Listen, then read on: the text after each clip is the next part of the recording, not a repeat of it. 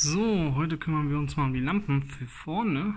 Und zwar haben wir ja auch diese scheiß Miedel-Dinger, aber ich glaube, da gibt es auch nicht wirklich andere mit E-Zeichen für die KVF.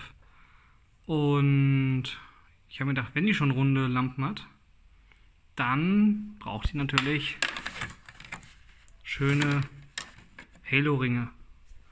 Schön in grün und die wollen wir jetzt mal einbauen.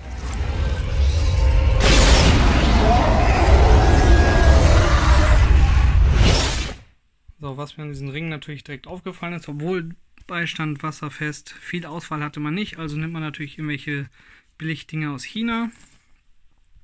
Ich weiß nicht genau, was die unter Wasserdicht verstehen. Genauso wie dieses schwarze Hüllending, wo das hier reinkommt. Das werden wir jetzt auf jeden Fall nochmal dicht machen mit. Muss mal gucken, was ich dafür nehme. Sikaflex oder Motordichtmasse. Eins von beiden. Und dann hoffe ich mal, dass das ein bisschen länger halten wird, als es so halten wird, wie es jetzt ist. Ah ja, und was wir natürlich auch noch machen müssen, ist äh, diese Clips hier abmachen. Ich weiß nicht genau, da kommt jetzt Fokus hier doch, warum die da dran sind, für welches Fahrzeug die eigentlich sind, dass die da gut reingeklipst werden können. Aber bei mir ist das auf jeden Fall nicht der Fall, deswegen werden die jetzt nochmal schön ordentlich abgeschnitten, abgefeilt, dass das eine ebene Fläche ist. Kommen wir zum aktuellen Zwischenstand. Ich muss übrigens, ist jetzt schon aufgefallen, dass ich darauf achten muss, nicht jeden Satz, wenn ich ein neues Video anfange, mit so mhm. zu beginnen, weil es irgendwie meine Art ist, keine Ahnung.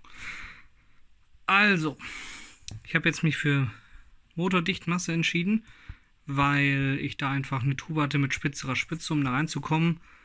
Das ist nicht so anfällig für Temperatur. Ich weiß ja nicht, wie warm die Ringe werden, weil die ja auch zwischen den, ach, zwischen sag ich schon genau, um die Scheinwerfer drumherum liegen und die ja leider kein LED sind und dadurch vielleicht sehr warm werden könnten. Und ja, es ist schwarz. Ich hatte nur weiße Sikaflex und da dachte ich, schwarze Motordichtmasse ist vielleicht besser. Und ja, hier nochmal zum Vergleich zu vorher ist, äh, habe ich das jetzt wieder schwarze Zeug gezogen? Ne, Glück gehabt. Ähm, ist halt, wenn man so ganz hier am Rand guckt, nicht wirklich dicht. Und deswegen mache ich das jetzt auch noch und dann kann es auch schon ans Einbauen gehen. Aber das wird wahrscheinlich erst in ein paar Tagen sein, deswegen kommt jetzt ein Cut. Ah, toll. Nachricht. Oh, vibrieren. Ah. Und da sind wir jetzt auch wieder seit langem hier in der Werkstatt. Ähm, ist jetzt mehrere Wochen her, dass ich hier mit diesem Halo Eis angefangen habe. Und ähm, ein bisschen was dazwischen gekommen, andere Sachen zu tun und so. Deswegen konnte ich jetzt leider nicht weitermachen.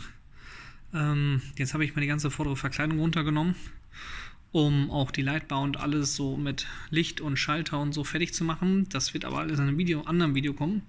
Deswegen hoffe ich, dass ich jetzt hier nicht zu sehr durcheinander komme. Deswegen werde ich jetzt hier nur noch ein bisschen erklären. Dann wird dieses Video auch zu Ende sein und der Rest kommt dann in dem Video zu der Lightbar, weil das ist mir sonst alles viel zu kompliziert, zwei Videos parallel aufzunehmen, die eigentlich alle mit dem Licht zu tun haben und das ist dann irgendwie ein bisschen scheiße. Auf jeden Fall bin ich jetzt gerade hier beschäftigt, das erzähle ich noch kurz, diese Ringe einzukleben. Ähm, ich bin mir nicht sicher, was für einen Kleber ich da nehmen soll. Ich habe jetzt so ein doppelseitiges Klebeband genommen, was angeblich zweieinhalb Kilo pro Quadratzentimeter halten soll. Daraus habe ich dann Streifen geschnitten, die hinten drauf geklebt und dann festgepresst. Und äh, den Schraubzwingen nach zu urteilen sieht man schon, dass das nicht so gut funktioniert, wie es sollte. Ähm, ich will die halt irgendwie auch nicht so festkleben, dass man sie nicht wieder abbekommt. Falls mal irgendwas ist, die defekt sind, die ausgetauscht werden müssen. Deswegen werden die jetzt aktuell noch mit den Schraubzwingen dran gepresst, damit die ja hoffentlich besser kleben. Ansonsten muss ich noch was überlegen. Ähm, weil wenn die sich lösen, hängen die nachher nur an diesen zwei dünnen Kabeln vorn dran im, äh, im Gelände. Das ist natürlich dann nicht so schön. Aber na gut. Ähm, ja, wie gesagt, die Scheinwerfer sind gerade ausgebaut. Dazu erzähle ich gleich noch was in dem LED-Video, was dann irgendwann kommt. Und das Verlegen der weiteren Kabel, die Anschlüsse und so, das mache ich alles zusammen mit in dem LED-Bar-Video. Und ja, damit ist das jetzt auch hier zu Ende. Ist jetzt ein bisschen hektisches und ziemlich spät kommendes Ende von diesem Video, aber vielleicht werde ich da noch irgendwie was zusammenschnibbeln am PC, damit sich das nicht ganz so scheiße anhört oder wirkt oder wie auch immer. Aber ich wollte euch einfach nur mal auf dem Laufenden halten, weil ja, mit der ganzen Elektrik hier äh, Katastrophe. Also, oh Mann. Aber wie gesagt, mehr dazu dann im nächsten Video zu der LED-Bar. Also, ja, haut rein. Ähm, was ich halt noch fragen wollte, ich habe die jetzt halt hier mit so doppelseitigen Klebepads, die extra viel aushalten, reingeklebt. Aber ich muss sagen, das sieht gar nicht mal so gut aus. Also wenn irgendjemand noch mal einen Tipp hat, womit ich die einkleben könnte, dann bitte in die Kommentare damit. Gerne auch, wenn jemand sagt, boah, ich schreibe nicht so gerne Kommentare unter YouTube-Videos. Wer mich bei Instagram oder Facebook hat, kann mich auch gerne anschreiben und mir Tipps geben. Wichtig ist halt, es soll ordentlich halten auch bei Temperaturschwankungen. Ich fahre halt auch im Winter und ich fahre auch bei, im Sommer bei hohen Temperaturen. Ich weiß auch nicht, wie warm die hier direkt am Rand werden, die Miedel-Scheinwerfer. Und äh, Feuchtigkeit und Schlamm sollte es natürlich auch abhaben können. Da sind auch extra welche aus dem Badezimmerbereich, die ich genommen habe. Aber ja, man, die ließen sich halt nicht gut zuschneiden und die haben auf der Rückseite nicht gehalten, nur hier am festen, harten Rand.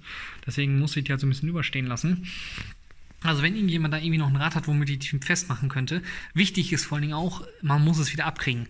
Also ich will auf jeden Fall irgendwas haben, dass wenn mal was damit ist und ich das abbauen muss, das rückstandslos und heile sich entfernen lässt. Also mit irgendwie Sikaflex oder Silikon festkleben und damit letztendlich auch hier äh, die Verkleidung beschädigen, kommt für mich nicht in Frage. Deswegen, wenn irgendjemand einen Tipp hat, welche Art von Klebemöglichkeit ich benutzen könnte, damit das vernünftig hält. Auch Temperatur, Schlamm und äh, Wasser und sich auch wieder rückstandslos entfernen lässt, dann gerne mal in die Kommentare damit, weil das würde mich echt mal interessieren. So, und ja, damit beende ich das jetzt auch, bevor jetzt hier gleich noch jemand um die Ecke guckt, warum ich hier so komische Selbstgespräche führe.